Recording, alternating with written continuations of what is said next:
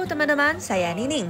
Sekarang saya sedang berada di Jalan Chama Huaji atau Jalan Teh Kuda Bunga di Kunming, ibu kota provinsi Yunnan di Tiongkok Barat Daya. Di sini Anda dapat sekaligus menikmati banyak makanan khas yang paling lezat di kota ini. Apakah ada makanan halal? Pasti ada. Nini sudah menemukan dua restoran halal yang dimiliki Muslim etnis Hui.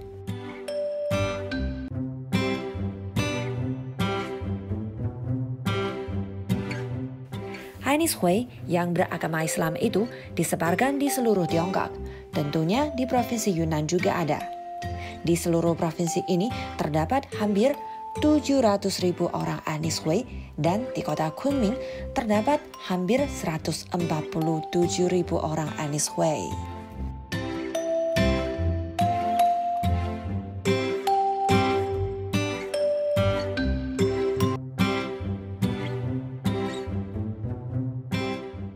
Ainis Hui sangat pandai memasak daging sapi, kambing, dan berbagai gorengan.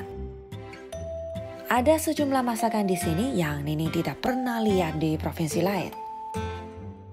Misalnya yang ini, kelihatannya seperti lumpia, tapi isinya adalah saus kenari. Apa rasanya?